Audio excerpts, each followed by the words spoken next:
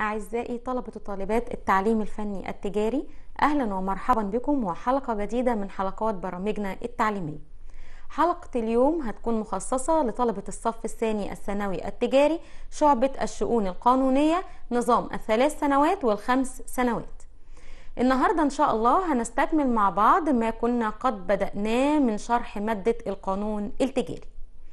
وكنا آه، قلنا في الحلقات السابقة إن إحنا مع بعض آه، بنشرح الأحكام بتاعة القانون التجارة الجديد رقم 17 لسنة 1999 وفي الواقع إحنا بدأنا آه، الأحكام دي بدأنا دراستها من السنة اللي فاتت يعني من وأنتم لسه في الصف الأول. تعالوا نرجع بالذاكرة كده شويتين ثلاثة للسنة اللي فاتت ونفتكر إحنا كنا اتكلمنا عن إيه. إحنا في البداية اخدنا آه، القانون التجاري وعرفنا إن القانون التجاري هو اللي بينظم القانون اللي بينظم العلاقات ما بين التجار وبعضهم وما بين التجار والمستهلكين. وبعد كده آه، عرفنا نميز ما بين الأعمال التجارية والأعمال المدنية. ودخلنا بعد كده في أنواع الأعمال التجارية. ومن ضمن- ومن ضمن آه، أنواع الأعمال التجارية عرفنا نوع اسمه الأعمال التجارية المنفردة. وفي الأعمال التجارية المنفردة إحنا عرفنا إيه هي؟ قلنا هي الأعمال اللي بتكون تجارية حتى لو حدثت مرة واحدة.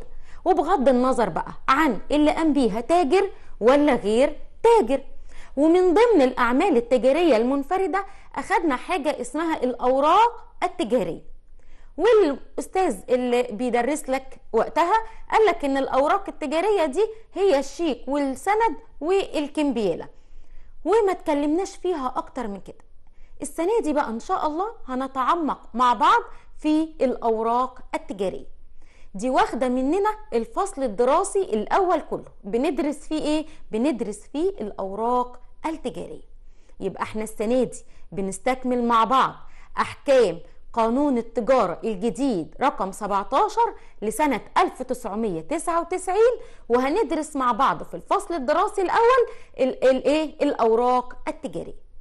طيب تعالوا قبل بقى ما نبدأ آه، الحلقة النهاردة بالدرس الجديد نسترجع مع بعض اللي إحنا أخدناه في الحلقات السابقة علشان لو حد من زمايلنا أول مرة يتابع الحلقات ما يحسش إن هو تايه.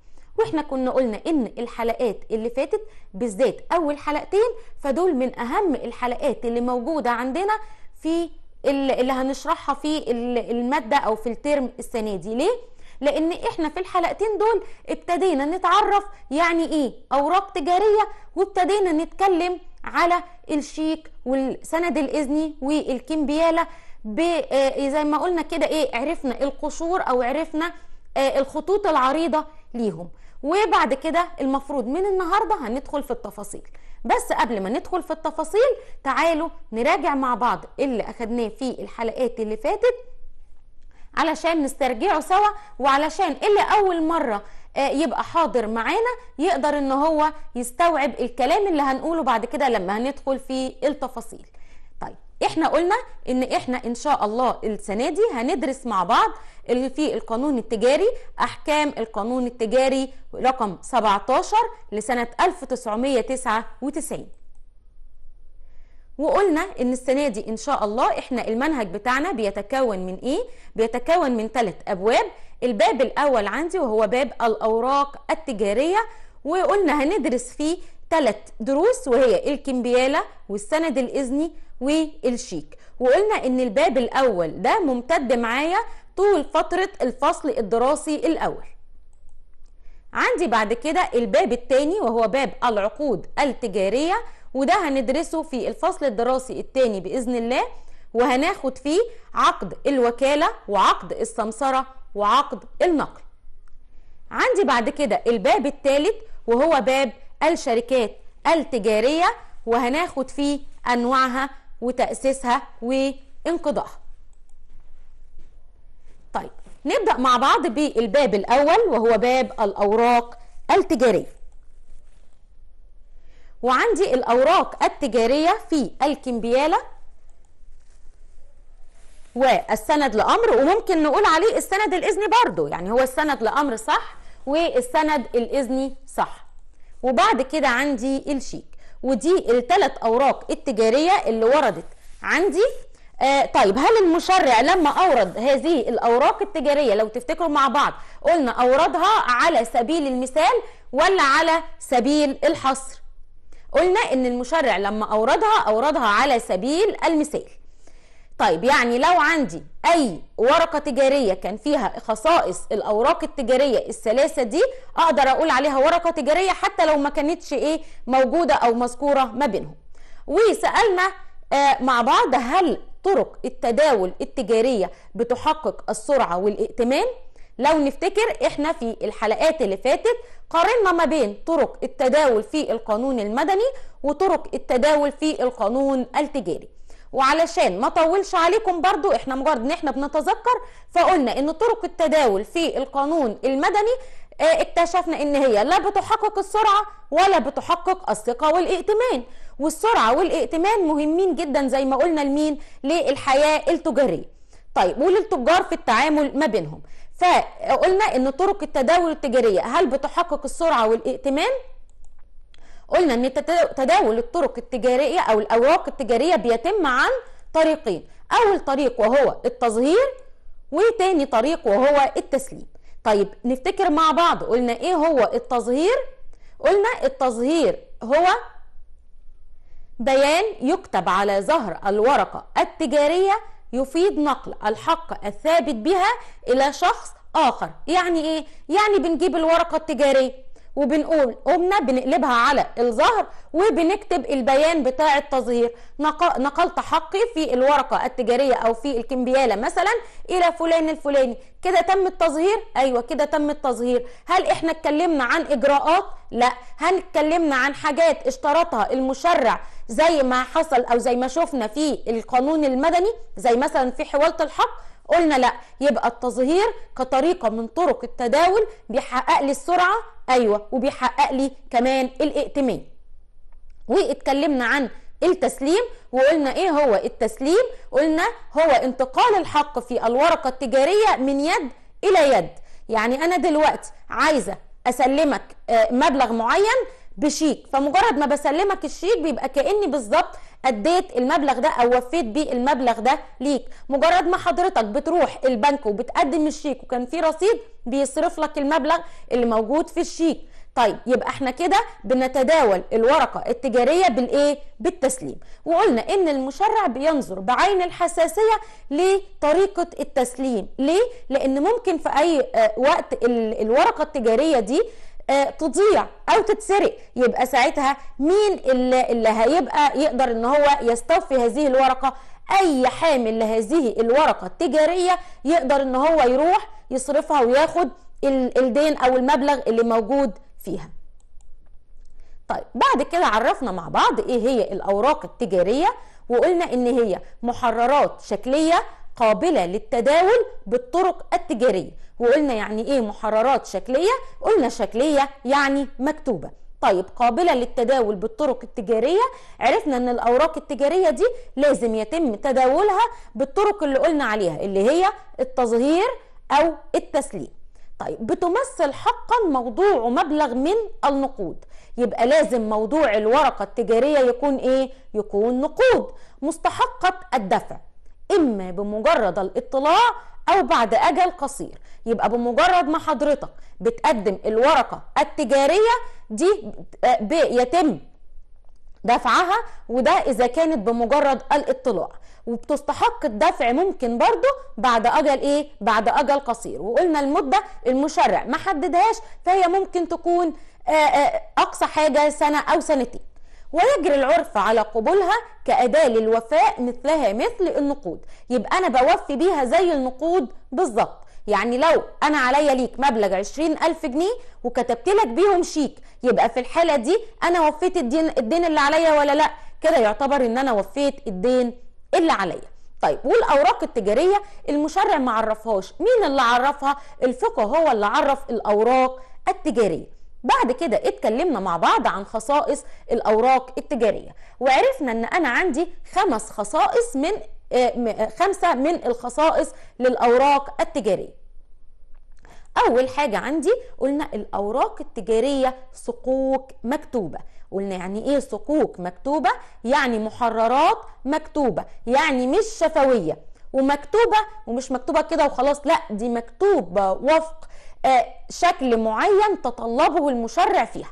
يبقى المشرع تطلب شكل معين أو تطلب بيانات معينة في الأوراق التجارية لابد انك تكون موجودة فيها. وبتختلف بقى هذه البيانات في الكمبيالة عن الشيك عن السند الإذني. بس خلينا عارفين إن الأوراق التجارية بتكون مكتوبة وفق بيانات معينة اشترطها المشرع فيها. وقلنا إن أنا ما عنديش أوراق تجارية شفوية. يعني عمرنا ما سمعنا عن شيك شفوي أو كمبيالة شفوية أو سند إذني أو لأمر شفوي.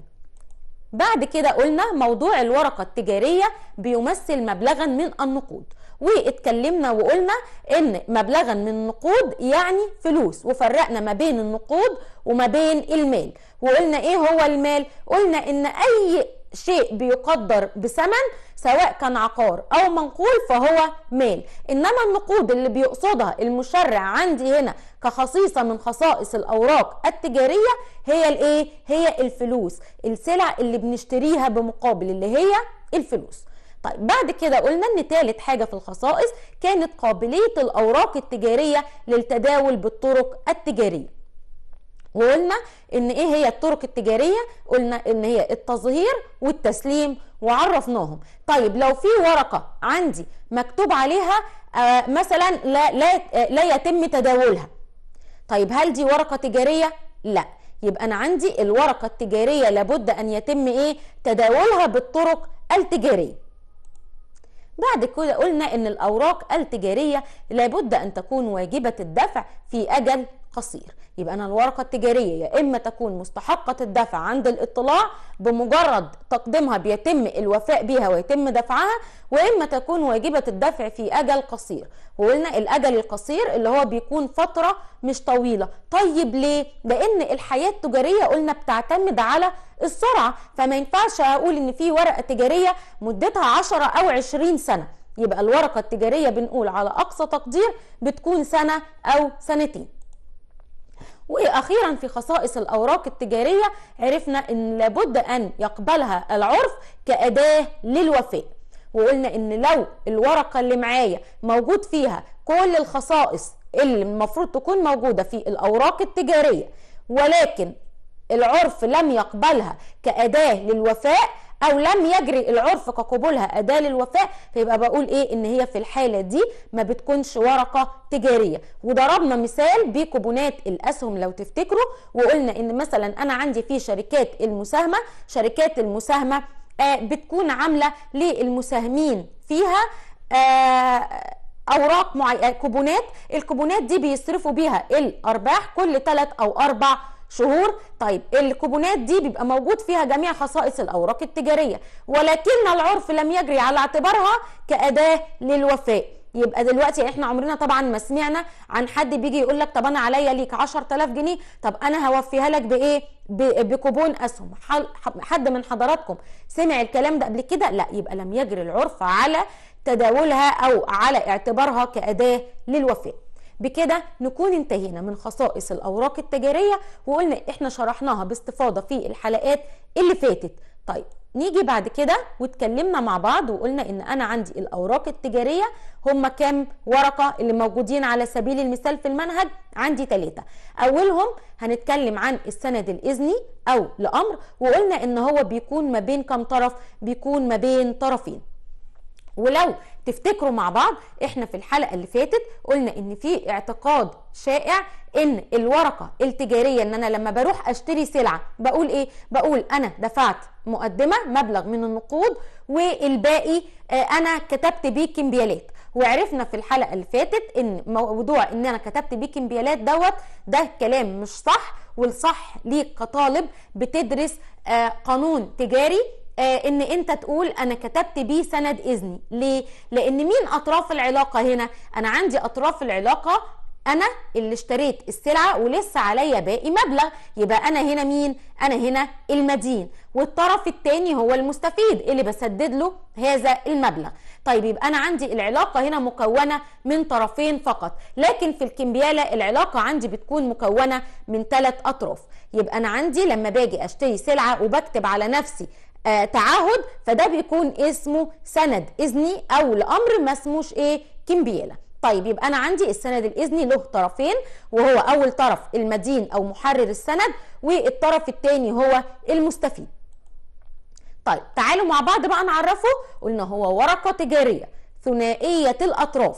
يتعهد محررها بمقتضاها أن يدفع مبلغ من النقود لإذن شخص آخر بيسمى المستفيد في تاريخ معين.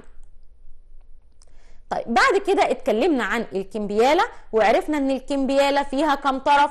فيها ثلاث أطراف. مين هما قلنا كاتب الكمبيالة أو الدائن.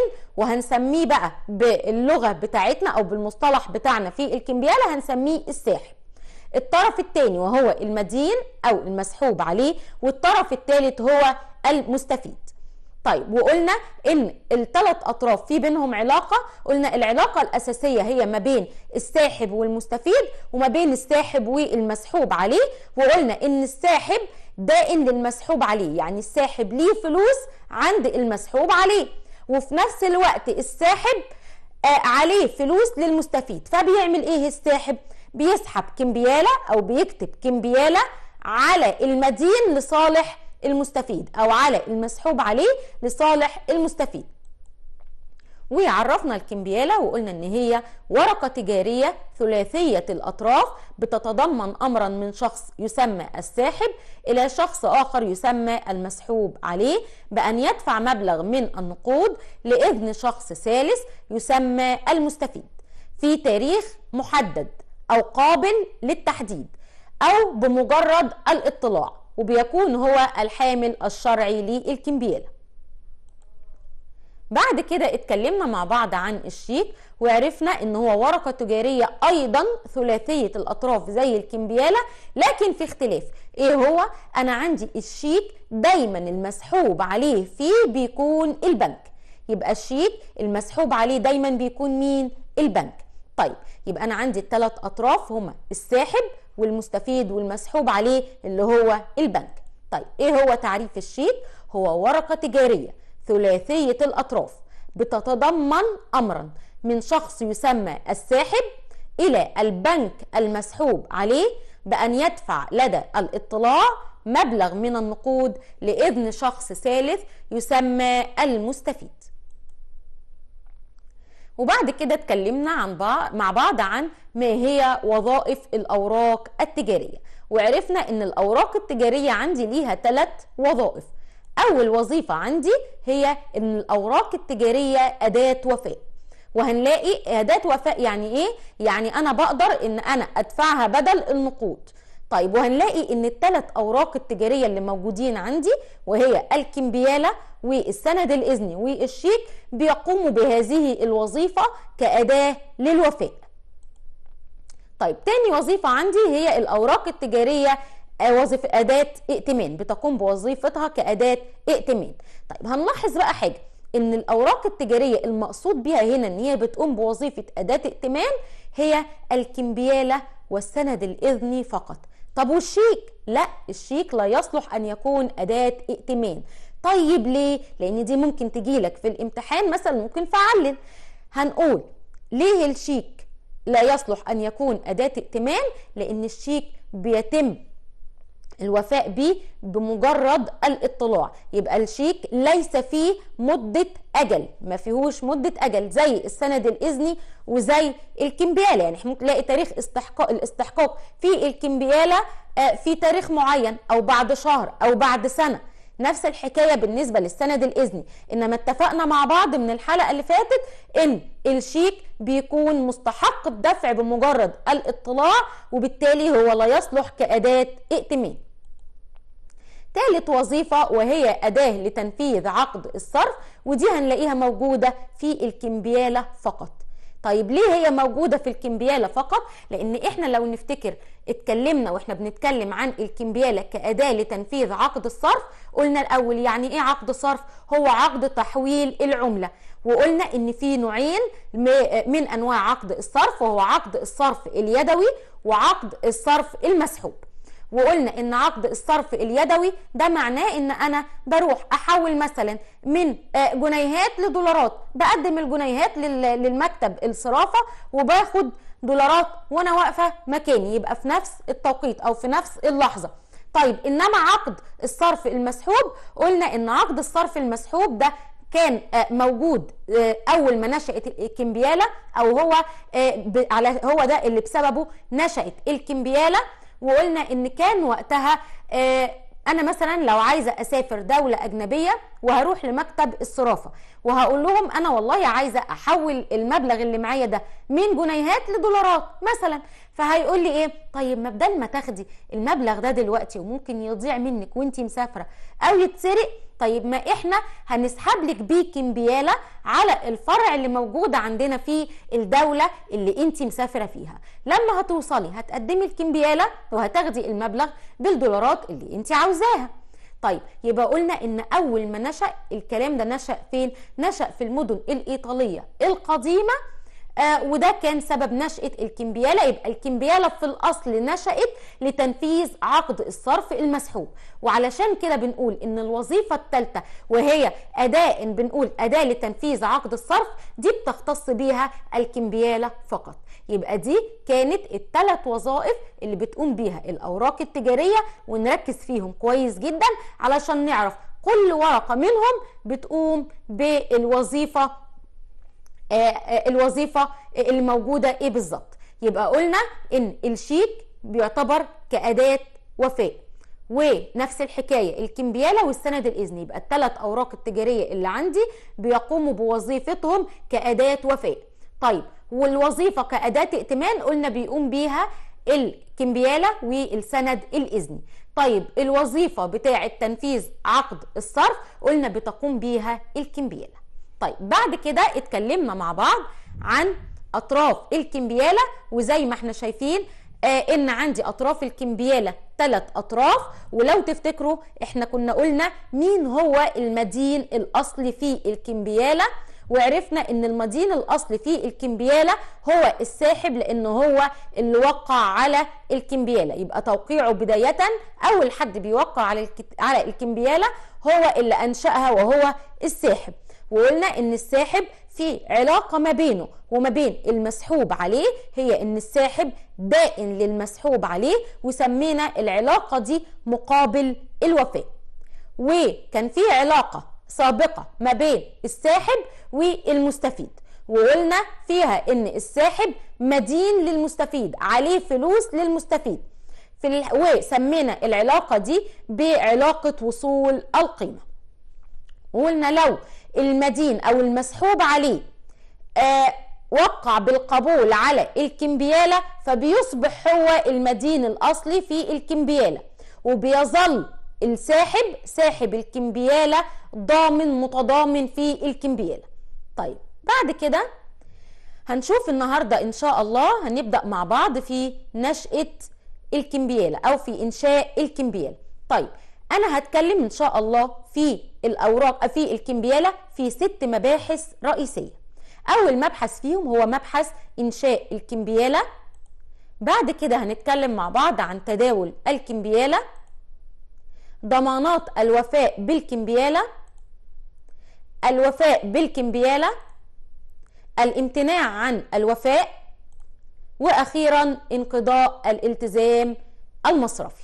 يبقى أنا عندي كده ست مباحث موجودة وهندرسها مع بعض في الكمبياله طيب تعالوا نبدأ بإنشاء الكمبياله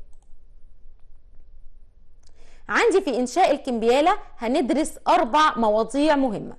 أولها الشروط الموضوعية لإنشاء الكمبياله الشروط الشكلية لإنشاء الكمبياله الآثار التي تترتب على تخلف أحد البيانات. الشروط الاختيارية في الكمبياله يبقى دي الأربع موضوعات الرئيسية اللي هندرسها في آه، المبحث الأول وهو إنشاء الكمبيالة تعالوا نبدأ مع بعض بالشروط الموضوعية لإنشاء الكمبيالة أنا عندي أربع شروط موضوعية لإنشاء الكمبيالة وهي الرضا الصحيح محل الالتزام الثابت في الكمبيالة سبب الالتزام الثابت في الكمبيالة وأهلية الالتزام في الكمبيالة يبقى إيه هي الشروط الموضوعية لإنشاء الكمبيالة؟ أربعة. رضا محل سبب أهلية. طيب تعالوا مع بعض نبدأ بالرضا الصحيح. زي ما إحنا شايفين كده نموذج الكمبيالة اللي قدامنا أنا عندي أول ما بنبدأ مع بعض لو أنا مثلا هسحب الكمبيالة أو هكتب الكمبيالة دي يبقى في البداية خالص لا تحمل الكمبيالة عند تحريرها سوى توقيع الساحب.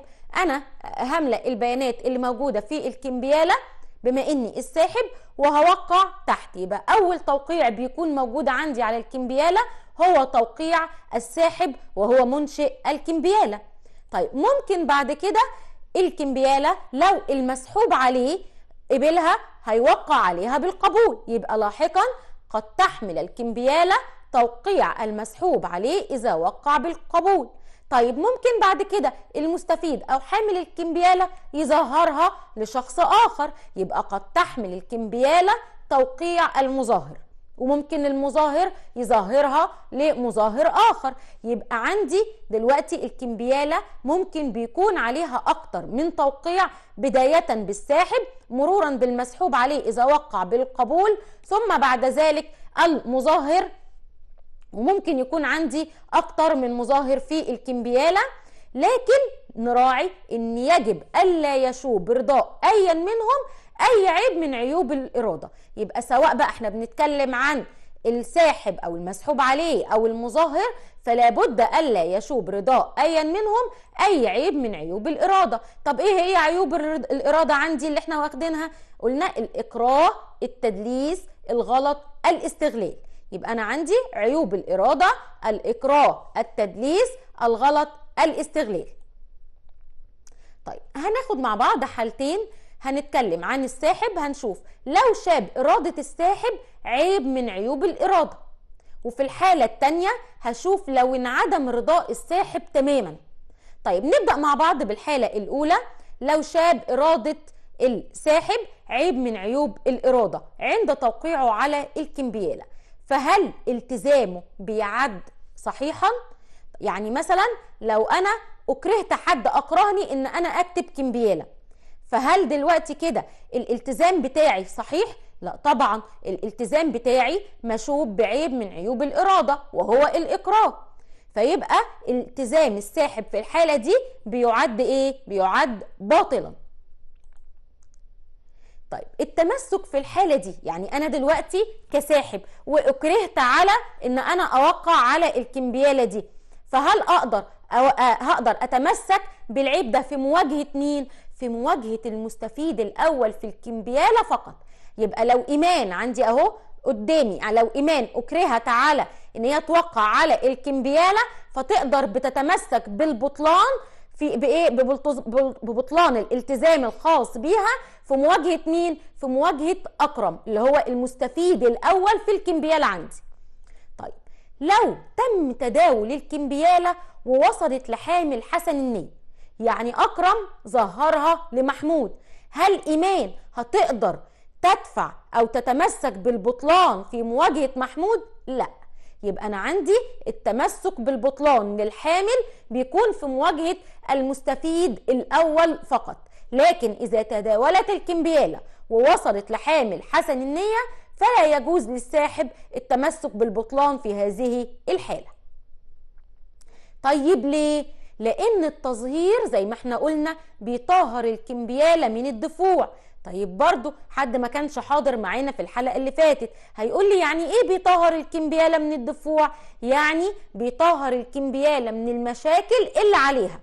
يبقى أنا دلوقتي لما هتنتقل الكمبيالة بيتم تظهيرها من المست... من المظاهر للمظاهر إليه في الحالة دي أي مشكلة موجودة على الكمبيالة بتسقط والمظهر إليه بيستلم الكمبيالة خالية من المشاكل. وأبسط مثال اللي إحنا شفناه دلوقتي. طيب هيقدر دلوقتي حد يجي الساحب يقول للمظاهر إليه والله أصل أنا كنت أكرهت على كتابة هذه الكمبيالة؟ هيقول له لا أنا مالياش دعوة. أنا تم التظهير ليا والتظهير بيطهر الكمبيالة من المشاكل. فالكمبيالة دلوقتي وصلتني إيه؟ وصلتني بدون مشاكل. يبقى هنقول التظهير بيطهر الكمبيالة من الدفوع ولذلك لا يستطيع الساحب إن هو يدفع بالبطلان في مواجهة المظهر إليه. طيب إيه هي الحالة الثانية قلنا لو انعدم رضاء الساحب. طب إمتى هينعدم رضاء الساحب؟ هناخد مثال لو تم تزوير توقيع الساحب على الكمبيالة.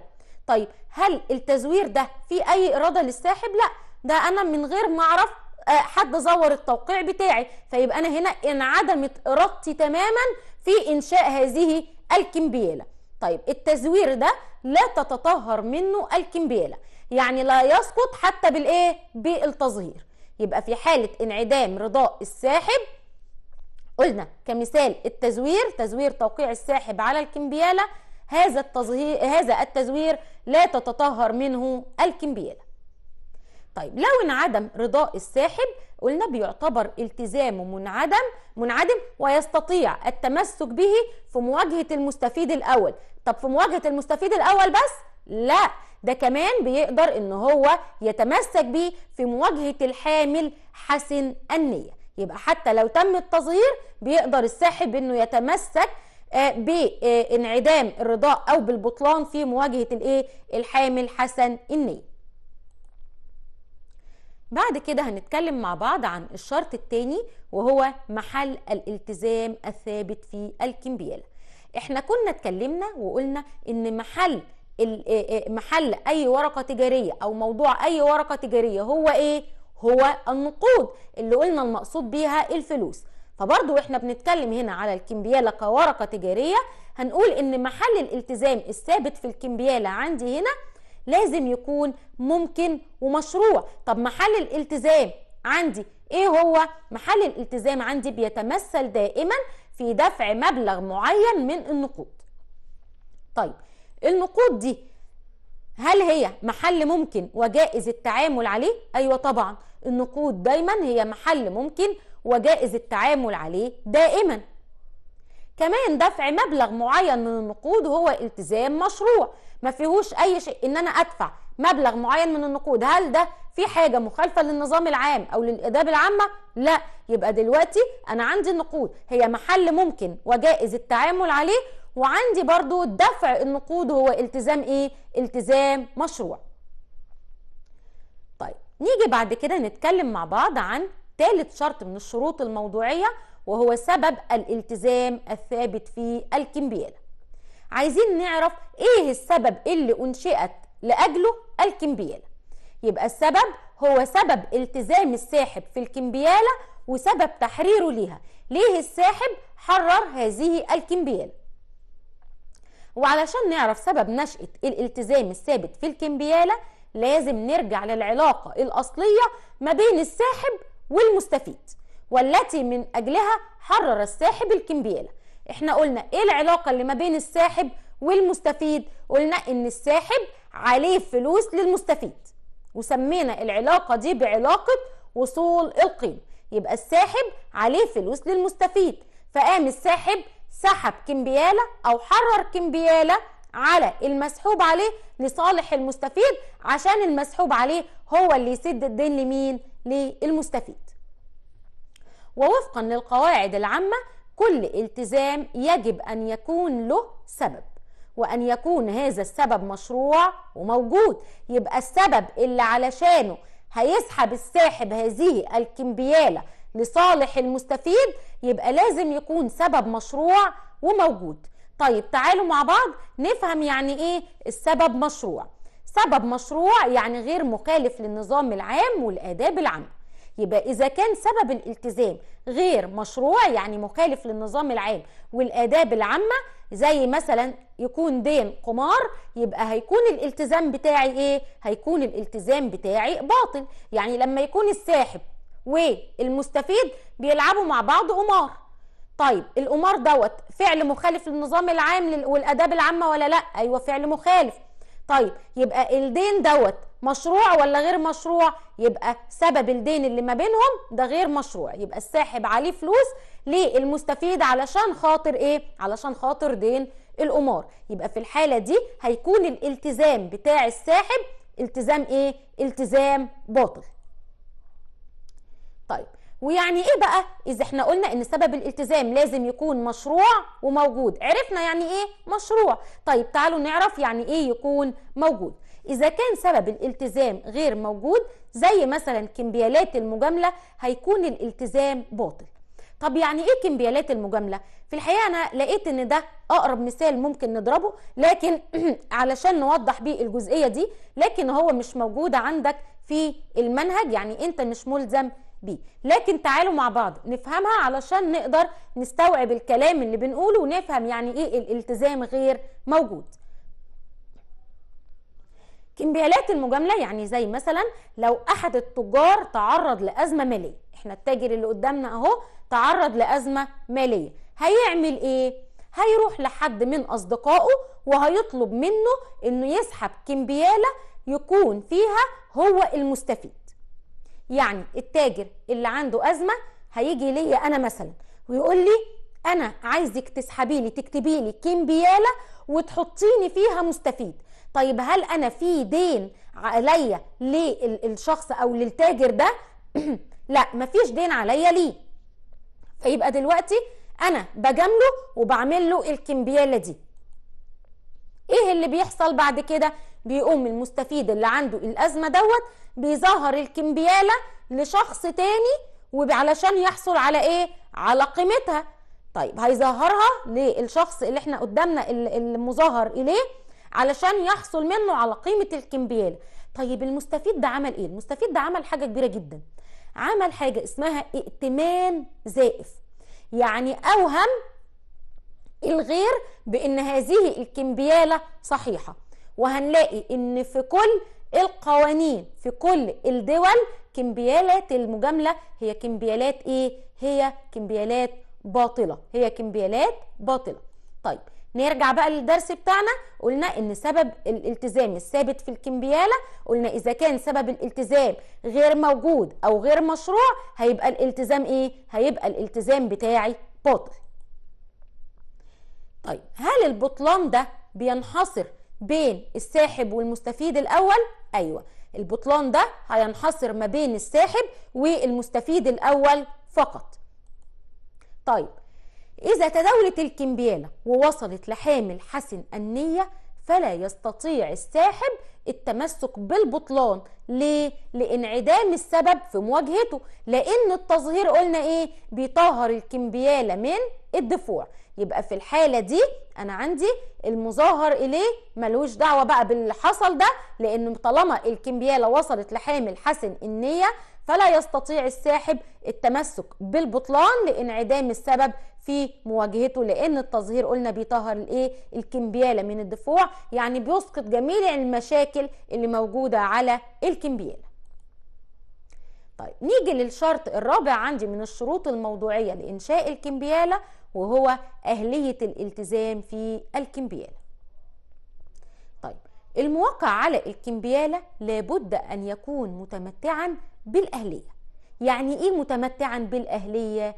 يعني عندي لابد أن يبلغ من العمر 21 سنة وغير مصاب بعارض من عوارض الأهلية إيه هي عوارض الأهلية؟ عندي هي الجنون والعتا والسفة والغفلة يبقى أنا عندي علشان الشخص يوقع على الكمبيالة لابد إن هو يتمتع بالأهلية. يعني إيه؟ يعني يبلغ من العمر 21 سنة وغير مصاب بعارض من عوارض الأهلية اللي إحنا ذكرناهم. طيب لو اللي وقع على الكمبيالة كان أقل من 18 سنة هفرق هفرق ما بين حالتين أو أقل أسفة أقل من 21 سنة. يبقى لو اللي وقع عن الكمبيالة أقل من 21 سنة هفرق ما بين حالتين أول حالة إذا كان إذا كان بلغ من العمر 18 سنة والمحكمة أذنت له في مباشرة التجارة. يبقى هيقدر إن هو يوقع على الكمبيالات المتعلقة بتجارته المأذون له فيها. يبقى أول حالة عندي إذا بلغ 18 سنة الشخص اللي هيوقع على الكمبيالة بلغ 18 سنة. بس لابد طالما بلغ 18 سنة لابد إن يبقى فيه شرط تاني وهو إن المحكمة تأذن له في مباشرة التجارة. يبقى يقدر إنه يوقع على الكمبيالة دي بس يوقع على الكمبيالات المتعلقة بالنوع أو بالتجارة اللي أذنت له فيها المحكمة فقط. طيب الحالة التانية عندي بقى إذا اللي كان بيوقع على الكمبيالة أقل من 18 سنة. والمحكمة أو لو كان وصل 18 سنة لكن المحكمة لم تأذن له في مباشرة التجارة. في الحالة دي توقيعه على الكمبيالة هيكون باطل. لكن هل هتبطل الكمبيالة كلها؟ لا. بطلانه هنا نسبي. يعني هيكون البطلان بالنسبة له فقط. وباقي الكمبيالة سليمة ما فيهاش أي مشكلة. طيب يبقى إحنا كده اتكلمنا في إنشاء الكمبيالة عن الشروط الموضوعية لإنشاء الكمبيالة. تعالوا بقى نتكلم عن الشروط الشكلية لإنشاء الكمبيالة. وفي الحقيقة في الشروط الشكلية لإنشاء الكمبيالة أنا عندي هما شرطين. إيه هما الشرطين اللي موجودين عندي؟ أول حاجة شرط الكتابة وتاني شرط توافر البيانات الإلزامية. طيب تعالوا مع بعض ونبدأ بأول شرط وهو شرط الكتابة. لابد أن تكون الأوراق التجارية مكتوبة. إحنا قلنا إن مفيش أوراق تجارية بتكون إيه؟ بتكون شفوية. طيب وبما إني بقى بتكلم عن الكمبيالة كنموذج للأوراق التجارية يبقى لابد أن تكون الكمبيالة في شكل محرر مكتوب. يبقى لابد أن تكون إيه؟ في شكل محرر مكتوب. وذلك لإثبات الالتزام الصرفي الثابت في الكمبيالة. أنا دلوقتي بقول إن الكمبيالة هيوقع عليها الساحب علشان ينشأ الالتزام الصرفي. طيب إزاي الساحب هيوقع على كمبيالة شفوية مثلا؟ لا يبقى لابد أن تكون مكتوبة في ورقة علشان يقدر الإيه الساحب أو يقدر اللي هيحرر الكمبيالة إن هو إيه يوقع عليها ويقدر نقدر نثبت الالتزام الصرفي الثابت في الكمبيالة. طيب تاني شرط معايا وهو توافر البيانات الإلزامية. وفي الحقيقة المشرع اشترط وجود عشر بيانات لابد أن تكون موجودة في الكمبيالة تعالوا مع بعض نعرف إيه هما البيانات الإلزامية اللي اشترطها المشرع في الكمبيالة أول حاجة كلمة كمبيالة بيان أمر الدفع مبلغ الكمبيالة اسم المسحوب عليه. اسم المستفيد. تاريخ إنشاء الكمبيالة مكان الكمبيالة ميعاد الاستحقاق. مكان الوفاء. وأخيرا توقيع الساحب. يبقى دي العشر بيانات الإلزامية اللي اشترط وجودهم المشرع في الكمبيالة تعالوا كده نبتدي ندرسهم مع بعض وناخد أول بيان فيهم وهو بيان كلمة كمبيالة المشرع في قانون التجارة الجديد اللي إحنا بندرسه رقم 17 لسنة 1999 أخذ بما قال به قانون جنيف الموحد. طب إيه هو قانون جنيف الموحد ده؟ دي معاهدة دولية للأوراق التجارية وهنلاقي إن المشرع المصري اتأثر بيها في أكتر من موقع في قانون التجارة الجديد بتاعنا.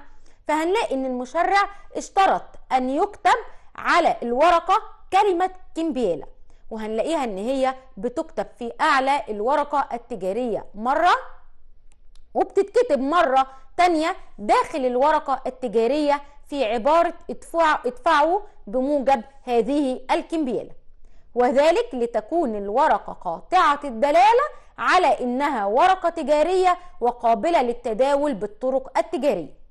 يعني لما أنا أشوف الكمبيالة قدامي فيها العنوان فوق زي ما اشترط المشرع كلمة كمبيالة على رأس الورقة التجارية وهلاقيها بتتكرر مرة تانية في المربع اللي تحت المظلل اللي تحت زي ما إحنا شايفينه ادفعوا بموجب هذه الكمبيالة. يبقى لما هلاقي الكمبيالة متكررة مرتين يبقى ده دليل قاطع على أن هذه الورقة التجارية قابلة للتداول بالأوراق التجارية قابلة للتداول بالطرق التجارية. يبقى هنا عندي كمبيالة موجودة مرتين موجودة في أعلى الورقة ومرة تانية بتتكرر فين؟ عند عبارة ادفعوا بموجب هذه الكمبيالة. وبعد اشتراط المشرع لكتابة كلمة كمبيالة لم يشترط كلمة لأمر أو لإذن. طيب إحنا زي ما إحنا شفنا ادفعوا بموجب هذه الكمبيالة لفلان الفلاني. طيب هل لأمر فلان أو قال لإذن فلان؟ لا. هو كان في قانون التجارة القديم بيكتب ادفعوا لأمر أو لإذن فلان لكي تكون قابلة للتداول بالطرق التجارية. بعد بس بعد زي ما قلنا كده المشرع اتأثر بالمعاهدة بتاعة قانون جنيف الموحد قال لك لا خلاص إحنا هنكتفي بكتابة كلمة كمبيالة مرتين مرة في أعلى الورقة ومرة في منتصف الورقة بعبارة ادفعوا بموجب هذه الكمبيالة ومش ولم يشترط بقى كلمة لأمر أو كلمة لإذن. ولكن حاليا زي ما قلنا في قانون التجارة الجديد بمجرد كتابة كلمة كمبيالة على الورقة بتكون قابلة للتداول بالتظهير حتى لو لم يكتب لإذن أو لأمر. يبقى كده إحنا أخدنا مع بعض أول بيان اشترطوا المشرع لوجوده في الكمبيالة. طيب فإذا كانت طيب لو الورقة بقى طلعت خالية من كلمة كمبيالة يعني ما لقيناش. لقينا كل اللي موجود في الورقة لكن لم يكتب في أعلى الورقة كمبيالة أو لم يكتب لم يكتب ادفعوا بموجب هذه الكمبيالة لا هما ما كتبش العبارة دي. طيب يبقى في الحالة دي هل هذه الورقة هتكون كمبيالة؟ لا إذا كانت الورقة خالية من كلمة كمبيالة فإنها تخرج من عداد الأوراق التجارية.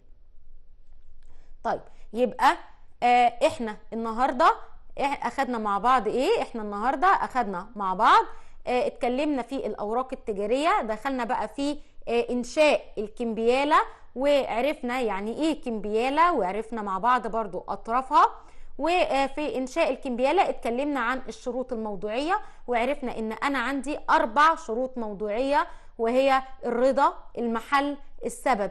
الأهلية وعرفنا تفاصيلهم وكنا ابتدينا مع بعض في الشروط الشكلية واتكلمنا عن عشر بيانات إلزامية اشترطهم المشرع في الكمبيالة ولكن للأسف انتهى وقت الحلقة وإحنا انتهينا فقط من الشرط الأول وهو شرط كلمة كتابة كلمة كمبيالة. وعرفنا برضو إن من الشروط الشكلية هي زي ما قلنا توافر بيانات إلزامية والكتابة وقلنا إن لابد إن تكون الكمبيالة في شكل محرر مكتوب علشان أقدر أثبت الالتزام الالتزام الصرفي الثابت فيها. بكده يكون وقت حلقتنا انتهى. شرفت بلقائكم النهارده وبإذن الله على أمل في لقاء قريب. واستودعكم الله ورحمة الله وبركاته والسلام عليكم.